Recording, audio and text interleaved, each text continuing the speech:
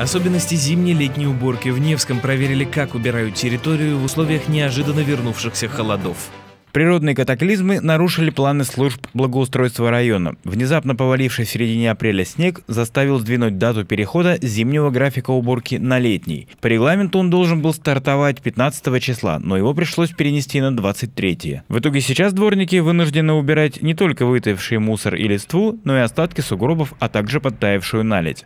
Впрочем, чиновники не унывают. По всем прогнозам погоды на следующей неделе у нас установится э, устойчивая положительная температура, что позволит нам э, нагнать э, упущенный график уборки э, зеленых насаждений. Также перенести пришлось и дату общегородского субботника, который должен был венчать месячник благоустройства.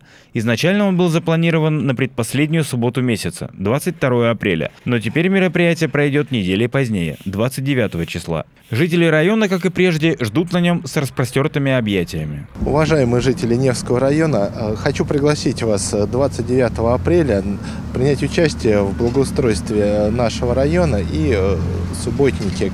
Мероприятие пройдет возле госпиталя для ветеранов войн и воинского мемориала «Журавли». Также очистить планируют зеленые зоны района, парк строителей, Куракину дачу, Виноградовский сквер и берег Невы вдоль Рыбацкого проспекта.